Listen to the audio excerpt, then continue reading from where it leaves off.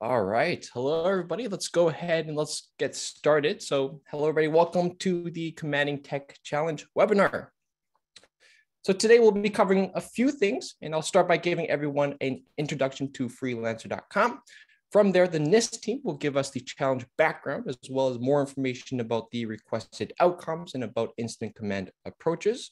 We'll then share a video discussion of Scott Ledgerwood and Chief Sterling Folden, where Chief Folden will share his experience with incident command dashboards. LMI will follow that and share some more technical background of this challenge and what is to be expected before I will walk everyone through the challenge schedule, the challenge prizes, how to participate, and how to submit an entry into this challenge, and also discuss eligibility. Then we'll close off with some live Q&A from there.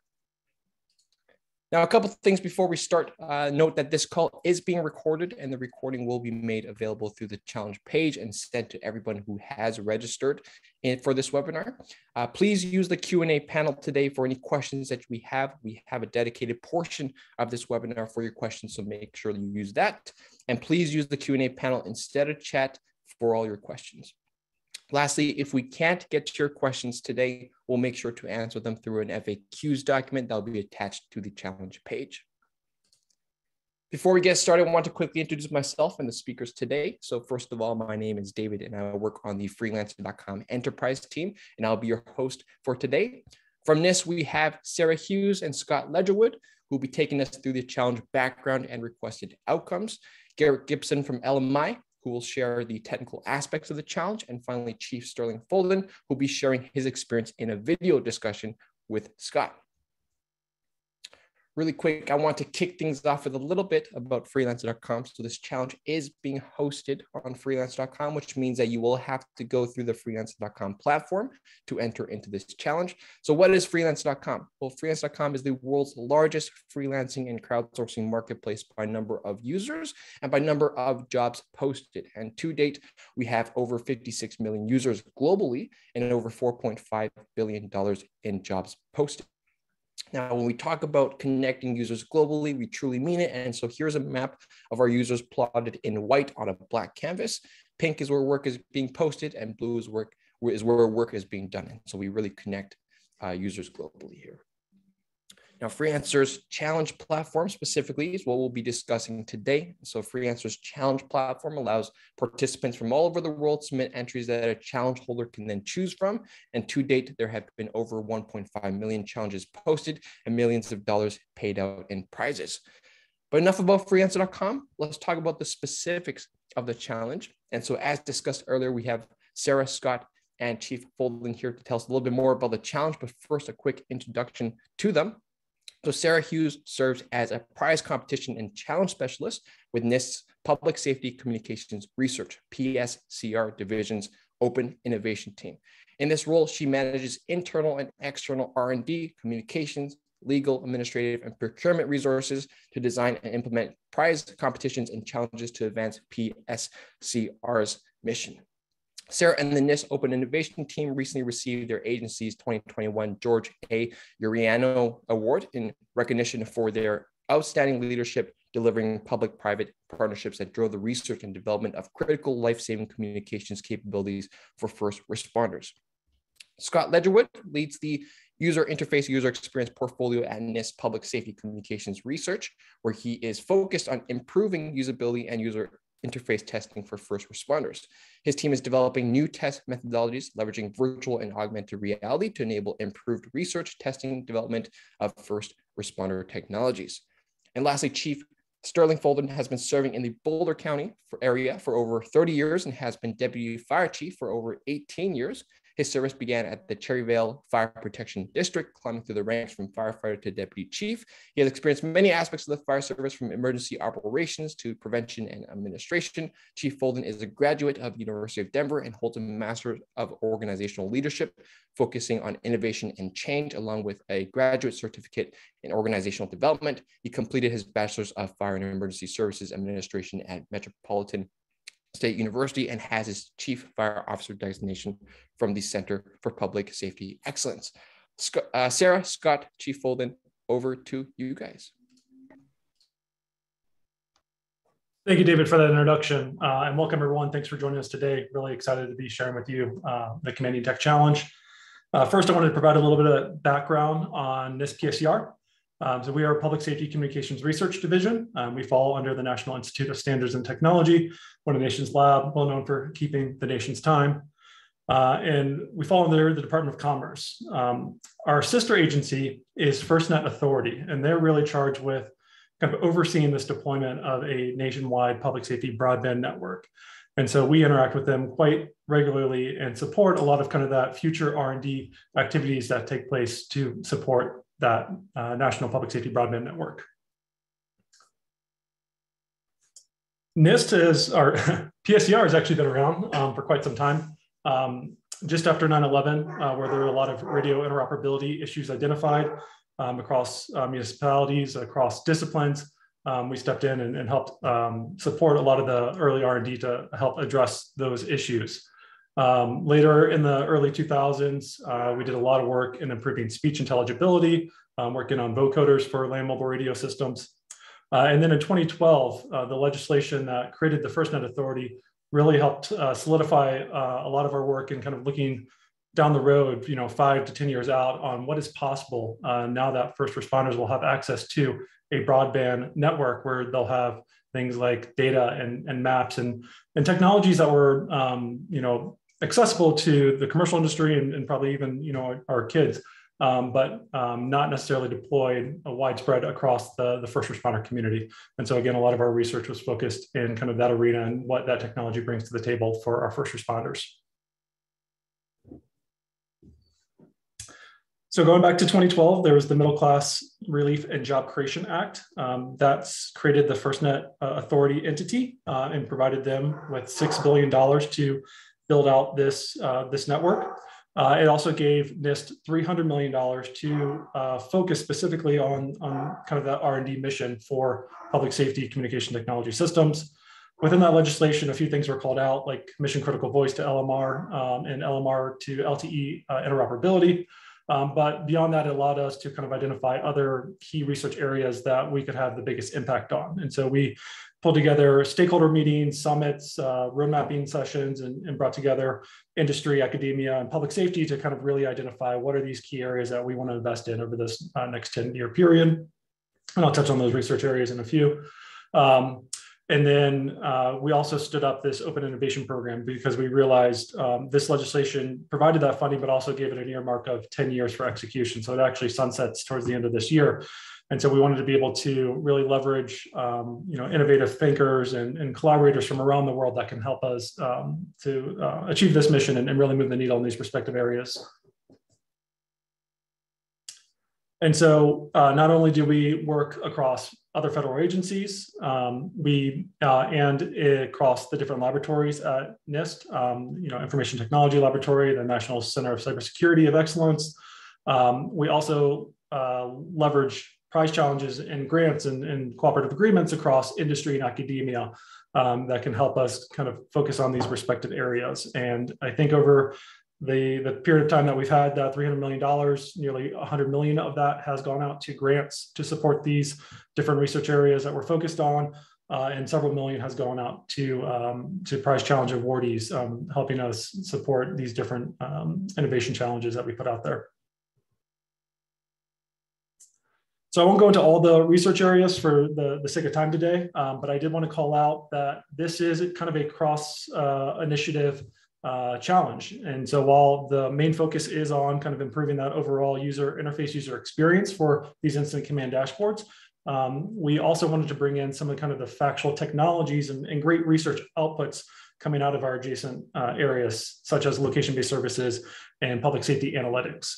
Um, and so in the UI UX field, again, uh, we're really focused on improving that interaction between the end user, the, the first responder in this case, and the technology system that they're using. Uh, and we do that through better understanding kind of the, the context of use of these technologies, the, the problems and needs of the first responder community, but then also looking at future technologies um, that we can use to prototype some of these enhanced user interfaces like heads up displays, haptics, uh, vocal commands, or, or uh, audio cues for interaction. On the location based services front, Um, we're really focused on improving pre-planning, uh, mapping, um, and we'll talk about kind of the LiDARs and, and 3D visualizations that we can leverage um, to support this challenge. Indoor tracking down to a sub one meter accuracy, uh, including the z-axis, so you know, you know what floor a first responder is in when they're um, responding to a scene. And then piecing that information together and providing uh, navigation information either to that end user or to that incident commander helping with that response. And then public safety analytics, which really looks at data analytics across the board, including social media streams. But for the sake of this challenge, really delving deep into kind of video analytics and, and what that brings to the table to help that, that first responder kind of um, make the, the best use of information readily available to them uh, in support of their response.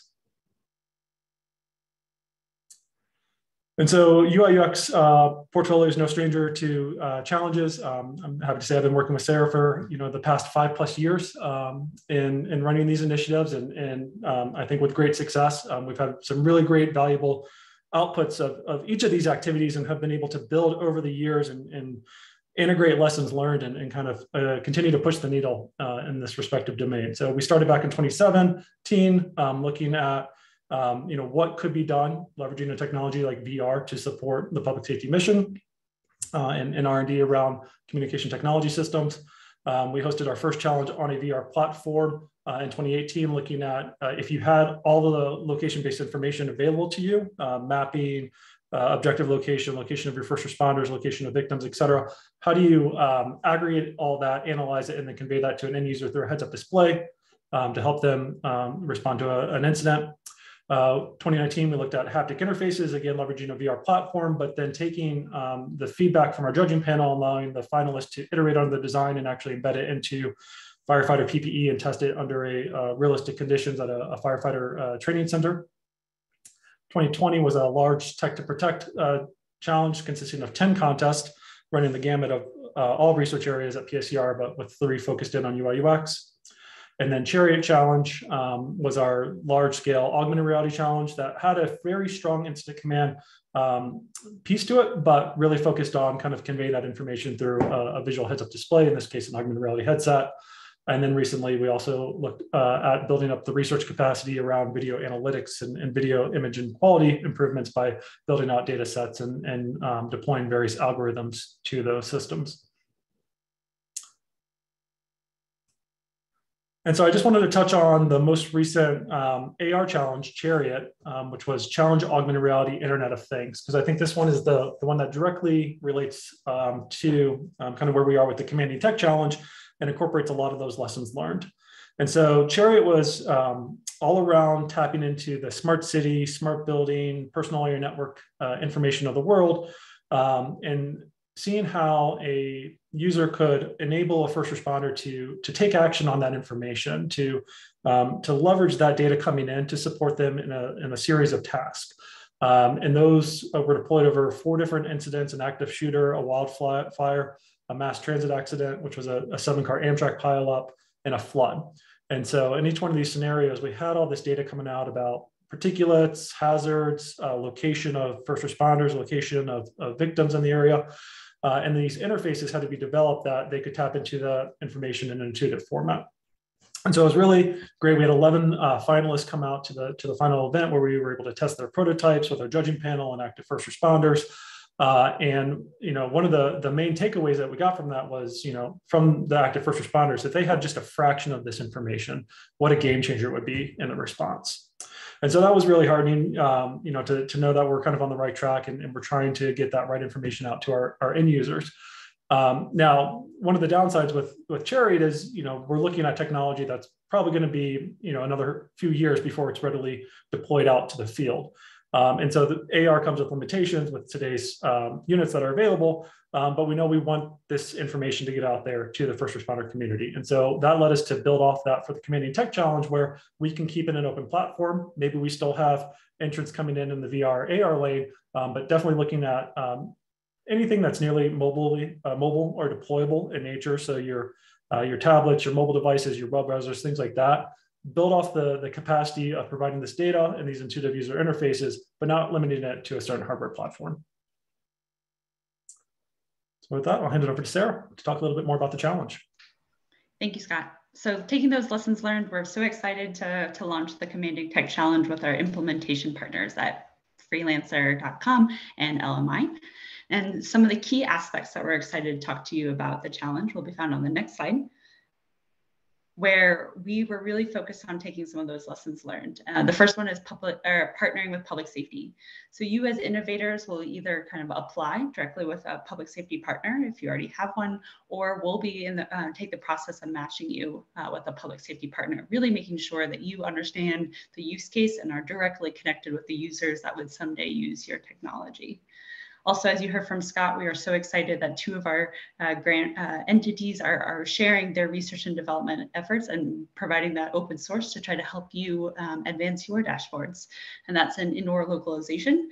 Um, so the dashboards will be, uh, you'll have access to kind of LiDAR scans uh, from the phase three and the phase four event, uh, indoor tracking and sensor um, sensors. And so we're really excited to kind of see how this data will really advance incident command dashboards in the indoor localization localization and indoor tracking space. The other aspect is video analytics. Um, we'll kind of see in a few slides later us talk more about kind of the excitement that, that we've seen from some of our uh, external partners and their research and development efforts with public safety. Um, and we're excited to have that as a component of this challenge. All of your uh, technology will also be uh, have the opportunity to be undergo a rigorous testing and evaluation at Department of Commerce Laboratory in Boulder, Colorado, as part of phase three. And at phase four, we're really excited to have kind of you as the innovators. The final four um, contestants will have the opportunity to provide a technology demonstration from their perspective uh, with access to kind of a live and stage event, a multi-story building with actors, and really kind of take the time to showcase your capabilities. You'll hear soon from Chief Folden, uh, kind of sharing some of their experience. Um, but this challenge really focuses in on the first few hours of an incident command. We know there's a lot of really great technology in the um, in the space, but most of it's really designed, uh, and a lot of it is used kind of by big uh, emergency operation centers, kind of as full hours after an incident has already um, taken fold. And so you'll hear kind of the importance um, and the resources of why we need some kind of technology to focus in on that first few hours to help them understand and track and scale as the incident scales themselves. So currently, these are kind of some of the methods that Chief Folden had shared that he's seen across his experience and that's kind of used across uh, the United States. So we're really excited to see what comes out of this challenge and if there's any tools or technology that will be helpful for first responders in that initial response phase. Our partners at First Responder Network Authority were really excited to participate in this challenge and also wanted to share some of the experience they've had on connecting and communicating with public safety. So at first, they really wanted to make clear that the importance is let responders be responders. Technology can augment or supplement their capabilities, but really should never distract. Their job is to save lives, and that's kind of a key component when you're speaking with your public safety partner of how would this technology augment, but not distract from their initial response. The other aspects to think through with their technology is it really needs to be trusted. Um, that's why a lot of them go back to kind of grease uh, markers on windows or paper and pencil because they know it will work every single time. So that's kind of a key component to think through in your kind of prototype and development is how are you going to make sure this is a resilient uh, technology kind of at, at the end stage of its product. The other aspect is simplicity. Think about where they work. Um, as you, as uh, Chief Folden will kind of share, you'll you'll have responses at 2 a.m. in the morning and also in the middle of a blizzard. And the same technology they use for each response needs to work through all those scenarios. The other aspect is ex- it needs to expand. So sometimes the initial response um, they, they have kind of a good control and then something will happen and all of a sudden the response scales in a matter of minutes and they need a dashboard that can reflect that same aspect is connectivity while our partners at first responder network authority and firstnet work to kind of expand techno- technology and connectivity across the united states uh, this dashboard and their tools really need to work kind of in, in the middle of the incident or on the top of a mountain where maybe connectivity is repaired because of the emergency scenario. And last is situational awareness. We'll talk a lot about the incident commander really wants to get information from the field, but also to be to relay that information to the people on the field to make sure kind of there's a two-way direction and communication. And on the next slide, we're excited to kind of share more about that public safety scenario. And so Scott's going to take us through a little bit of the important aspects and, and where to find this information. Yeah, and um, thanks, Sarah. And I think one of the things I, I want to highlight is, you know, we've we've done our market research in advance of this challenge. You know, we were looking to see what capabilities exist out there from an incident command dashboard today. Uh, around that same time, uh, DHS also produced a report kind of conducting similar market research around incident command um, technology systems available. Um, and, and, we definitely didn't want to reinvent the world, uh, the, um, the wheel here. Um, and so we, we crafted this challenge to really highlight these aspects of these technology areas that, that we talked about, the, the LiDAR scans, the, the 3D uh, building information through the point clouds, uh, the indoor tracking capabilities of, of incorporating that XYZ axis for your first responders moving about the facility, and then also these video analytics streams. And so while we looked at um, kind of the, the marketplace and what's available, we saw a lot of these technology systems really excelled um, pulling in GIS information and kind of these larger outdoor incidents that are underway. Um, but, but few were able to really support this indoor visualization and integrate all these different components for supporting um, that, that in-building incident response. And so we crafted out these emergency scenarios for phase three and phase four, where you will be able to kind of make best use of that data, that LiDAR scan, that 3D point cloud scan, and these other uh, data points and, and sensors that are coming into play to support this challenge.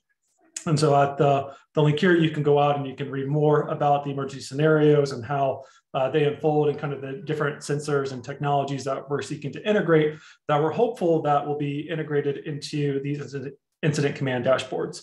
Um, and again, you know, while we're leaning on these kind of adjacent technology areas to, to really kind of highlight the, the potential impact of these, um, these technology systems, um, we also want to stress the importance of that UI UX flow, right? That, that general usability of this uh, dashboard for the end user. And so, um, you know, we want to make sure people aren't just uh, not only bringing in these uh, information feeds that can be that uh, impactful, but really presenting that information in an intuitive and useful way to that first responder. So as Scott mentioned, we're really excited to kind of um, share two of our uh, external funded partners um, and their research and development efforts. So from the University of Memphis, you will have access to the LiDAR scans kind of in phase three from one of their um, big auditorium space. As you saw from the public safety scenario, this scenario is all about kind of a, a planned controversial speaker. Um, and so we'll put, have kind of the floor maps that are, um, and also the LiDAR scans of this building that have been annotated. We're also very excited that University of Memphis as a challenge partner will be the site location for phase four. So the contestants that, that make it to the final phase will actually be doing a demonstration in the facility with the, the access to their LiDAR scans. And with the video analytics partner from the University of Houston, we were really excited about their efforts that they've been working hand in hand with the, the public safety department at, uh, at the city of Houston. And some of the aspects that they've been really thinking through is um, currently some first responders have access to kind of a video surveillance aspect, but that really doesn't help them um, beyond kind of uh, unless someone is monitoring 24 7 of looking kind of at the different videos. So instead, the University of Houston uh, has been thinking through public safety of how different analytical structures would really help highlight kind of when there's a change or when there's a notification to really help uh, first responders make best use of, of any kind of video structures that they may have. And on the next slide, you'll kind of see these are the same or key areas that when they've been working hand in hand with public safety of the topic areas that they've seen that first responders might be excited about uh, of seeing kind of video analytics progress. And several of these topics, you'll hear more from our partners at LMI, will be part of this challenge and provided to you to utilize and integrate into your dashboards. But before we uh, go to that component, we really wanted to clarify, um, oops, so sorry, uh, on the next slide, what we are looking for in contestants dashboards. So as part of kind of the challenge in each phase, we're excited to see your progress. So maybe it's a brand new dashboard that you're proposing at phase one in the concept level, or you already have a pre-existing dashboard that you're excited to integrate indoor localization and video analytics into the structure. So you'll be kind of reporting in on your progress at each phase of the way. And these are the key components that we're really excited about to see integrated into your dashboards. So again, um, stay tuned to all the great information that's on the freelancer.com challenge website and all the resources that are there for you. Now we're really excited to kind of introduce and play a video of Chief Folden and Scott Ledgerwood, uh, who will kind of share more about their experience in incident command. Welcome. My name is Scott Ledgerwood. I'm the User Interface User Experience Portfolio Lead at Public Safety Communications Research Division. I'm joined here with Chief Sterling Folden from Mountain View Fire Rescue based in Longmont, Colorado. Uh, really excited to have the Chief join me today as we have a brief discussion about incident command response and how communication technology systems are leveraged today. So thank you, Chief. Yeah, thank you for having me. So first question I want to throw at you is um, a bit of a hypothetical. Let's say you're first due on scene, um, multi-story structure fire. What are some of the key things that you look out for? And what tools or systems do you leverage today, if any? Uh, so the job really begins on the way to the call. Uh, as, as we're arriving, we're looking at access, uh, we're looking at water supply, staging areas, things like that. The commander starts to think about those things. Um, and as we're arriving at the building, we look at building type, building function. Is this a school, a hospital, assisted living? Is it a, is it a apartment building? Um, and then we look at building construction to see what it's made out of. And then we're also looking to see if we can see flames, smoke, where that might be coming from, what side of the building. Uh, and then we also start to look for uh, any built-in fire safety systems, sprinklers, alarms, things like that. Are they activating? Are they working? Is the building evacuated? And then along with that, we also want to be able to find and utilize building uh, utilities like gas, power, water, uh, those types of things that we uh, need to assign people to to control and help with the situation. So those are all things to do that. If we use anything today, we use any, we, we kind of use a, a whole range of products, anything from a notepad of paper, which some people still like, um, as scary as that could be. Uh, whiteboard is very common. Um, and then on the other far end, some people are using a tablet style with an electronic program that they can track some age, uh, apparatus or assignments with that way as well. Excellent. Um, the Marshall Fire occurred last year in Boulder, Colorado. A really devastating event, impacting over a thousand homes, and you were part of the response for that. So as we look at a, an event of that magnitude, that's got an extended duration, many hours, up to many days, right? How does that change your response, uh, especially when we're talking about multiple disciplines, multiple jurisdictions coming in to support that activity? So a fire like the Marshall Fire is kind of, you know, once in a career thing, but um, they seem to be becoming more and more common in people's careers. So uh, the problem is it, it, grows exponentially over a period of hours, and so it's difficult to keep that up, and everything gets overwhelmed. Uh, voice communications gets overwhelmed, incident command gets overwhelmed, response systems, dispatch centers, uh, auto and mutual aid systems also start to become overwhelmed and taxed. Um, and that's just in the first few hours. And this duration, you know, we went for a, several days before it helped snowed, and even that didn't bring the incident mm-hmm. to an end. So um, we kind of get into a system there where after a few hours we can get a, a local incident management team that can help break up some different uh, aspects of the fire and help with that. And then as we got into a few days we brought in a national incident management teams that comes with dozens and dozens of people uh, to our incidents sometimes they come with hundreds um, that can really break it out and support the incident.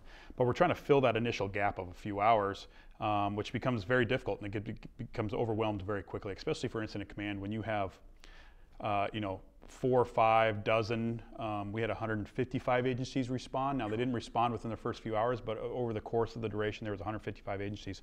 For those first few hours, we had dozens and dozens of agencies, and you know, dozens and dozens and dozens of apparatus, and we just—it's very hard to track and keep control yeah. that stuff. So. Yeah, and um, the commanding tech challenge is, is, really trying to fill that niche, right? That first on scene, um, first couple hours of the incident, providing the tools that could help support that response. So just pulling that thread a little bit more, um, as the event prolongs, um, obviously fatigue and stress start to set in, um, and we have the kind of this increase in complexity, while at the same time you have this constant stream of information coming from different sources, different types of data. Uh, for a contestant that's entering the commanding tech challenge, what are some suggestions that you would give them to um, kind of best make use of that data and make sure that they're providing something to you in an actionable format? Yeah.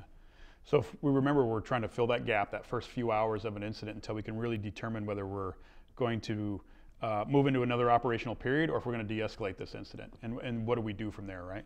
Um, so some things that are, are, helpful is you are getting all sorts of input from uh, radios, uh, in person, face to face, from the visual out, out from outside the windshield, uh, all sorts of inputs, phone calls, things like that that are going on. Um, so for me, I always find myself needing a parking lot where I can park all this input, and then um, I don't have anything, but if it could remind me that I parked something in the parking lot and I need to address it at some point, that would be great. You know, urgent, not urgent, something like that. And then benchmarks as well to make sure I've hit the key kind of uh, categories that need to be taken care of. Uh, you know, for a structure fire, have uh, have we done a search and have we evaluated the roof and uh, have we established a water supply and have we controlled utilities? Things like that for for a structure fire would be great. Um, and then things like you know uh, aerial photography or pre-plans that are put into that. Um, things where I can pull up something from the building and look to see what the systems are in it. Uh, those are all very helpful. Um, something that tracks crews, their assignments, uh, how long they've been there would be really helpful as well. A lot of times we rely on the crew's feedback to us if they're tired or not, and we're firefighters, so we want to say that we never get tired, right? We never need to go to rehab. But I have to track those times of those people and, and, and make them go uh, take a break. Mm-hmm. So all those things would be great. And then while we're filling that gap, it's got to either cons- be able to expand or compress with the incident. Um, and it may need to expand into a next operational period where I'm going to hand that off to someone that's coming in, and it needs to make logical sense to that person. Um, or it needs to be able to de-escalate with the incident as well. Um, as I kind of spool down an incident and I send resources home, it starts to shrink with me. It just doesn't stop once I get to a point. Yeah, very insightful. So definitely have some flexibilities there yeah. for the response. Yeah. Um, so last question I had for you is um, part of the CommanDING Tech Challenge is to look across the uh, different research areas that we're focused on, from um, analytics to location-based services. And so we'll definitely be pulling in some factual technologies like video analytics streams. We'll have uh, the ability to track the location of your colleagues across multiple stories, uh, the ability to visualize the interior of a structure uh, as well as some IoT tracking capabilities like occupancy sensors or the ability to detect um, hazardous materials in the space. So if a contestant is successful in integrating all those um, data points into a, a dashboard, um, how does that impact your ability to respond and, and, what does that mean for you really at the end of the day? Yeah, I, mean, at the end of the day, it, it, it, has a massive impact because the more situational awareness I have and the, the better ability I have to look at the incident as a whole, um, I can make a better judgment and so I can right size my response. Um, it helps me plan for an hour down the road or a next operational period down the road if I'm having accurate information given back to me. Um, otherwise, it's a lot of times it's like playing that phone game where someone on the radio inside is describing what they see to me or what I hear from uh, from the crews inside, and then I'm interpreting that as well, and I'm, I'm trying to make this judgment call, right? Mm-hmm. Um, so the the more hard data I can get and put it and wrap it together, the better judgments I can make, and the better planning I can do. Um, do I need to step this response up? Do I need to step this response down? Do I need to plan for a long duration? Or is this going to be shorter, two hours where I can get my arms around this? Um, all those things are a big, big help. And then, um, yeah, being able to go back and look through that stuff. And so when I'm writing a report or we're trying to break apart the incident, see what went well or the opportunities for improvement, if we can use this system to kind of pull out those benchmarks or those notes that happened and then uh, reconstruct the incident for better opportunities in the future as well. Excellent. Great. Well, thank you again for your time today. Yeah. Greatly appreciate it. And hopefully, this information and your expertise and lessons learned that you shared um, will be very impactful for our contestant teams moving forward. Great. Thank you for having me. I'm happy to participate. Awesome. So next up, we have Garrick Gibson from LMI, who will be giving us some of the more technical background of this challenge and what is expected of our participants. And so a little bit about Garrick. So Garrick is a consultant at LMI with the background in software engineering. His area of expertise includes full stack web development, web application development, UI, UX design, and Internet of Things having filled the role of technical lead on several development and research projects for groups such as the DLA, the USN, the USA, and USAF. He currently serves NIST Public Safety Communications Research as a technical subject matter expert for the CommanDING Tech Challenge. So Garrick, over to you. Thanks, David.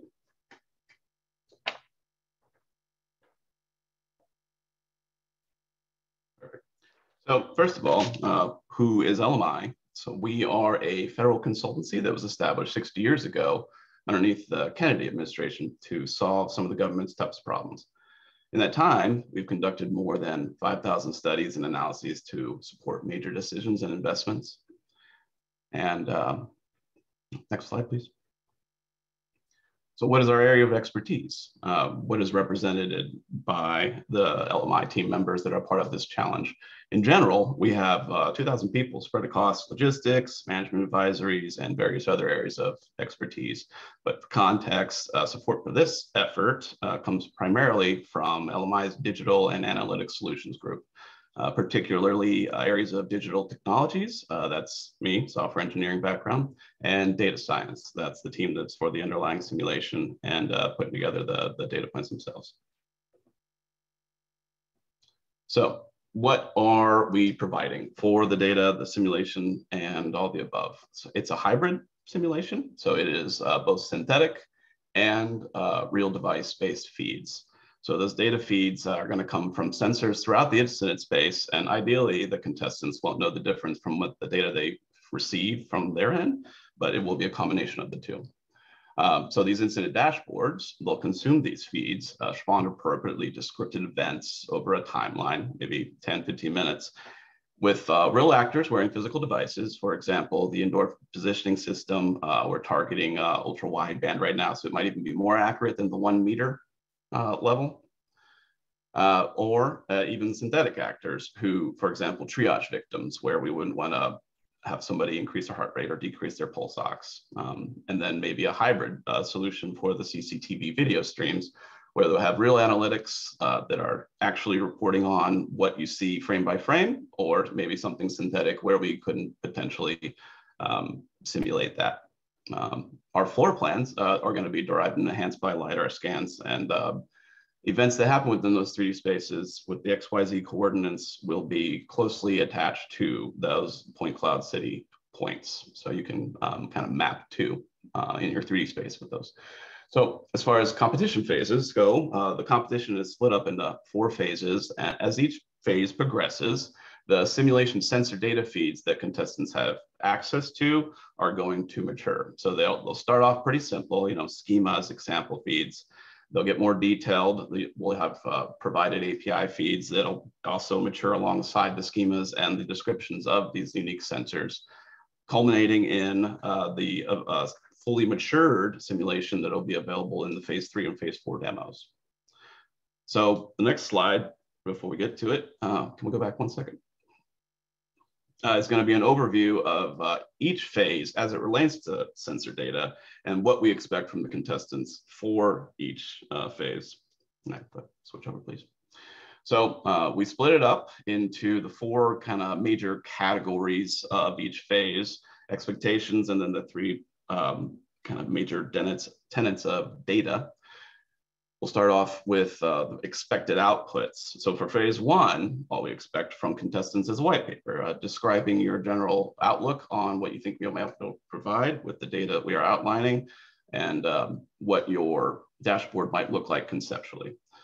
Phase two uh, would be a video demo to, um, to show progress based off of your white paper's original inputs, kind of the prototype phase.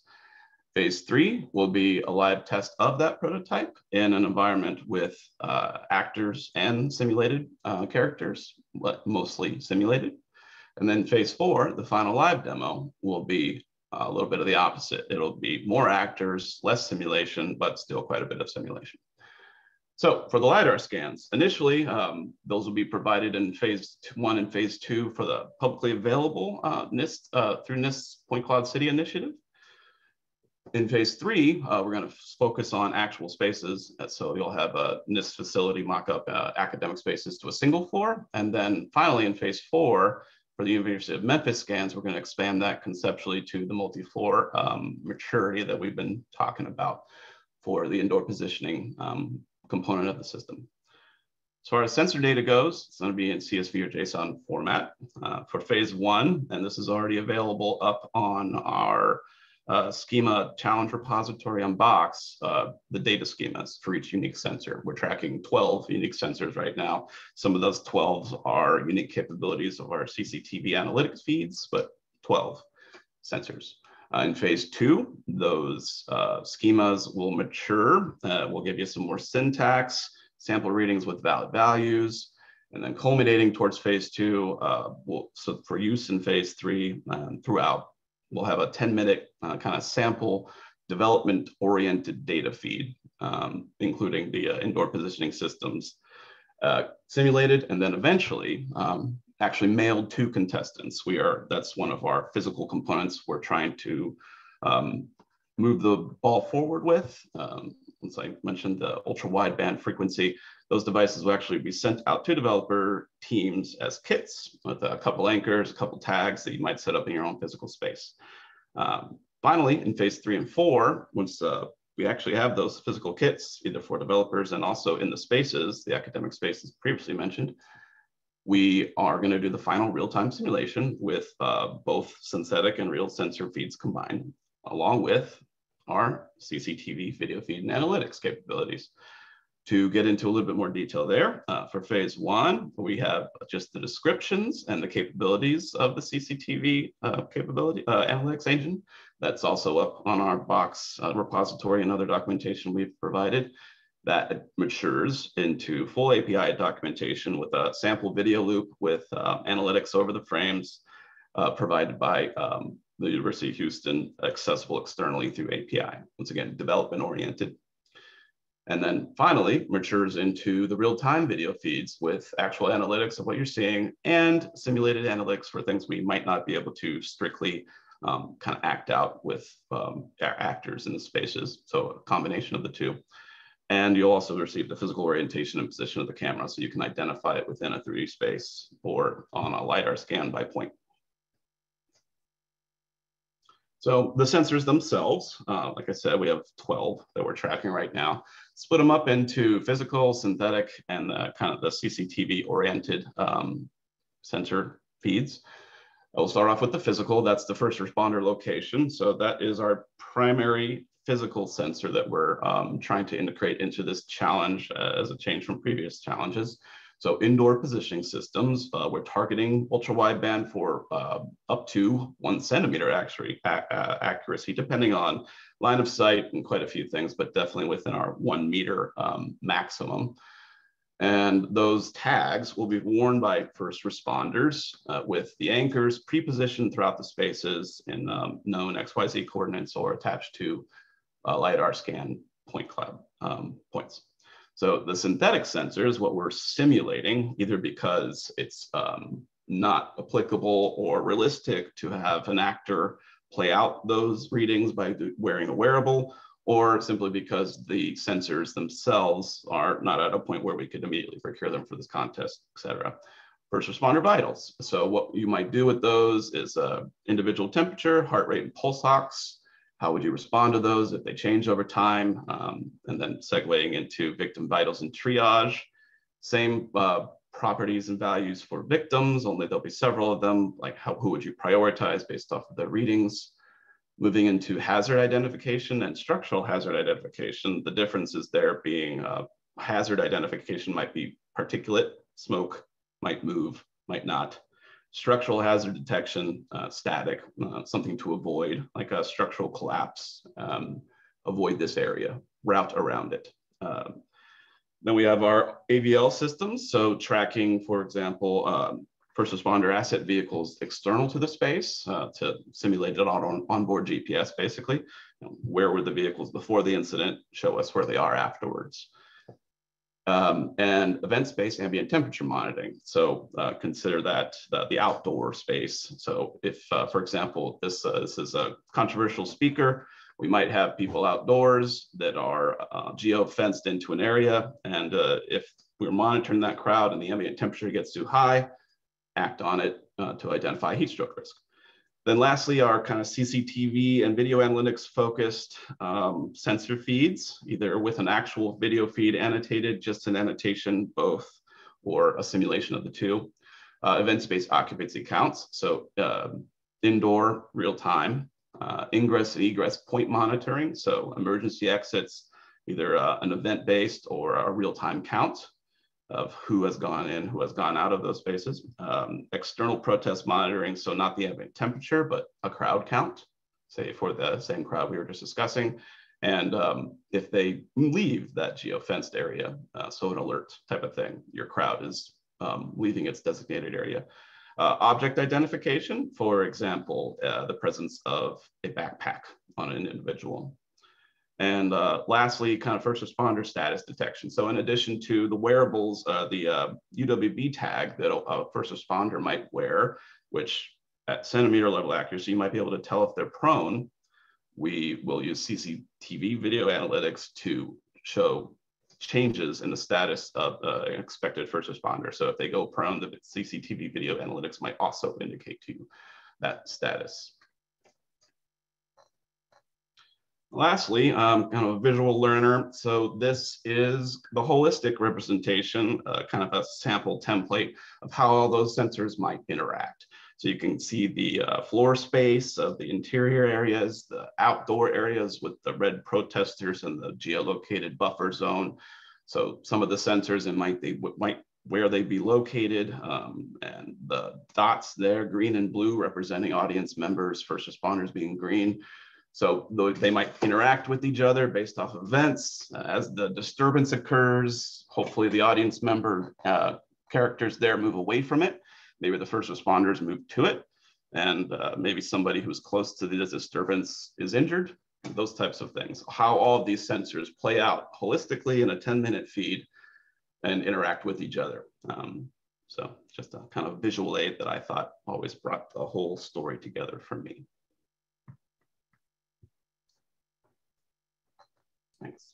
Awesome. So let's move on to what a lot of people have been waiting for. And let's discuss some of the cash prizes and the phases of the challenge. And so we'll be talking through the prizes to be won for this challenge through each of the four phases. To see the full list of prizes and the full details, please visit the challenge rules document on the challenge.gov website. So this challenge here offers a total of $1 million US in prizes to be awarded. And so phase one, which has already begun as of June 6, 2022, will run through to July 31st, 2022 at 5 p.m. Eastern time.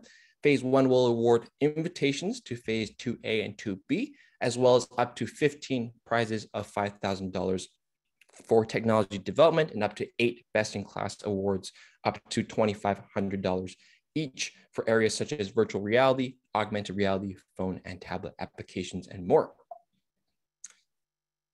Phase 2A starts on August 17th with a submission deadline of September 7th, 2022 at 5 p.m. Eastern Time. And Phase 2A will award up to 15 awards of $5,000 each for public safety partner collaboration. Phase 2B starts at the same time as Phase 2A with a submission deadline of October 23rd, 2022 at 5 p.m. Eastern Time.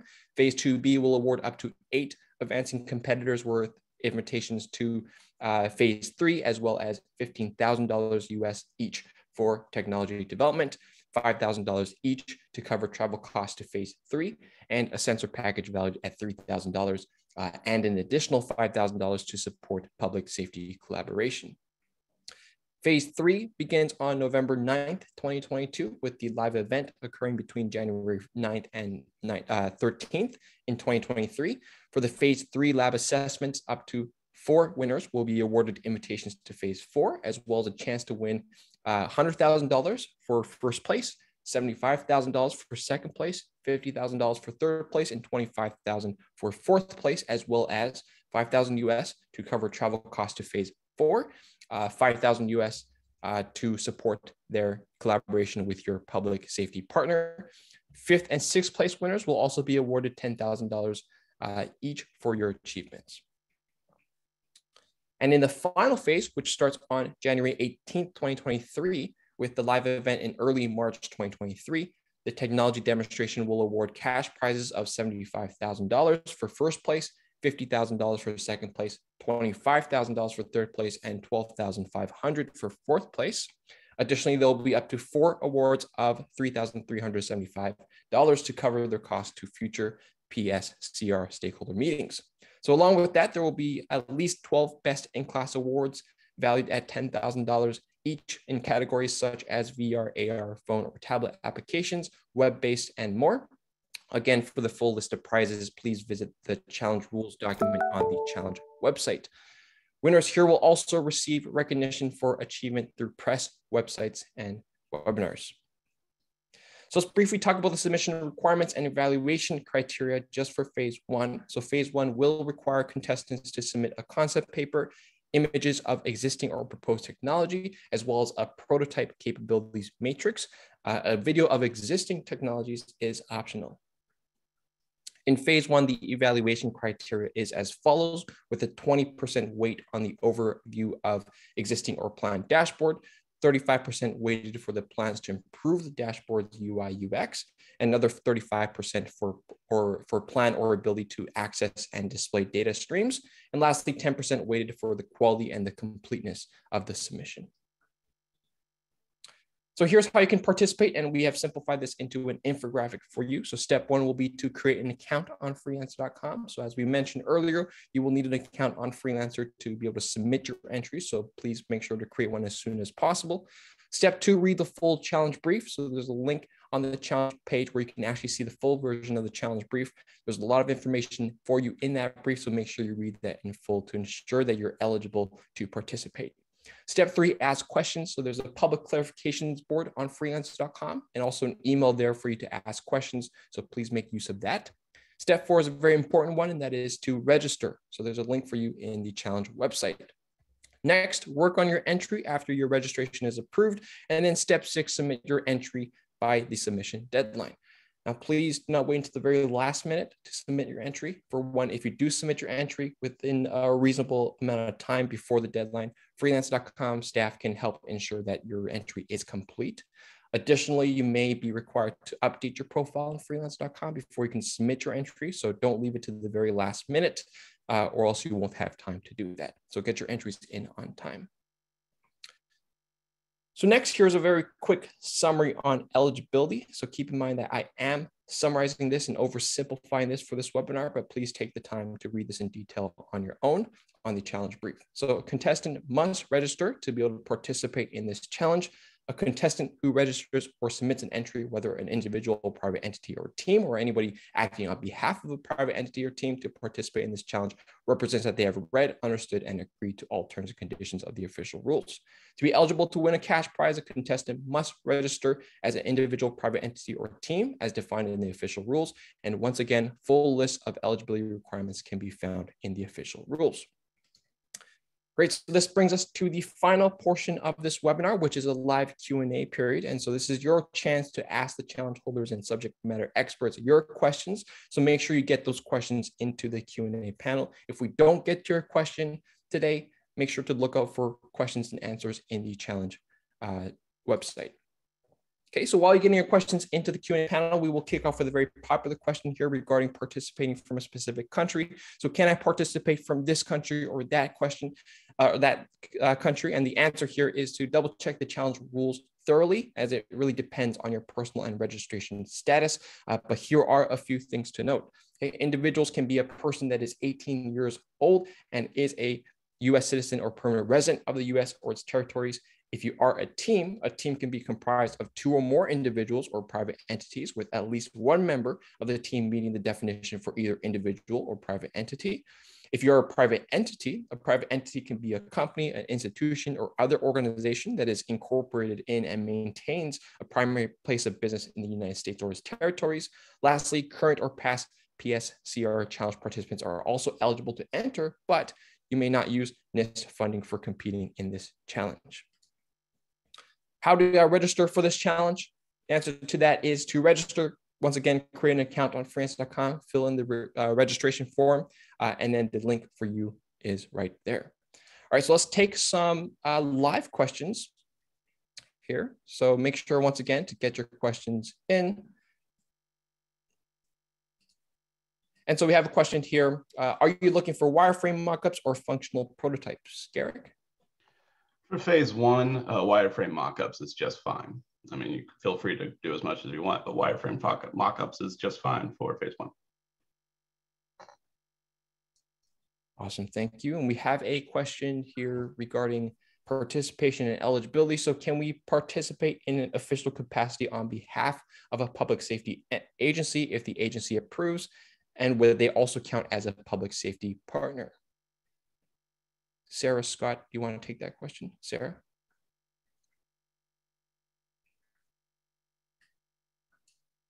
Sarah, I think you're on mute. Great, thank you um, for your question. If you are just one individual participating as, as behalf of the public safety agency, we would still want to see that you're working with other kind of members of your, your team. Um, however, if you're a full team participating in your official capacity, uh, then that would also count as the public safety partner. Perfect, thank you. And we've got another question here. I'm currently registered as an individual. Can I change my registration to team? And if so, how do I do that? Anna, do you want to answer? Yes, thanks, David. Um, so if you are currently registered an individual, you can simply resubmit a new registration uh, and indicate yourself as team. And if you can also send a message to the challenge team at nist.freelancer.com, that would also help us keep track of the change. Perfect, thank you. Any last questions? Got another question here. Does France or other entities claim any IP of the work done in this competition? Sarah, go ahead. Great question. Um, it, the intellectual property components is really covered in detail in the official rules. So do really encourage you to kind of review the terms and conditions of the official rules. But no, uh, neither NIST or um, freelancer.com takes any intellectual property. Uh, NIST does, as a government entity, request a demonstration license just to visually be able to describe and share about your, your solution, um, but we take no intellectual property claims. We're really excited about the contestants maintaining their right to the property so they can help advance and commercialize uh, more quickly than we might be able to. A great question. Perfect. So last chance for a live question here. If not, if you think of a question later, once again, you can put the questions in the public clarifications board, uh, or you can write to the email. I've got a question here for the prototype capabilities matrix table. Do we just use X to indicate the current capabilities? Garrick or Sarah, do you want to take that one? Be happy to. Um, so you'll actually see there's some uh, pre-built filled or fields into the capability Excel table. Um, so very easy and simple. Once you download it, you can be able to see um, how you indicate which you have current uh, capabilities or which you're in progress of. Great question. We're really excited to help uh, contestants kind of track their, their progress throughout the challenge. Perfect. Got another question here. Will the live demonstration be tailored to our use case, or do we have to keep our dashboard solution very general to accommodate other circumstances? For example, my solution may be related uh, to security specifically at a baseball stadium. Garrick, do you want to answer that? Yeah, one second. It's generally going to have to keep it uh, broad in that your well, your specific scenario tailored to a baseball stadium it won't be tailored to a baseball stadium. So you'll have to use the same data sets that the other folks use, other teams, which would be quote unquote general. Perfect. And will there be any need to test or evaluate the technology? So if so, will NIST provide first responders and will IRB be required? Sarah, do you want to take that one?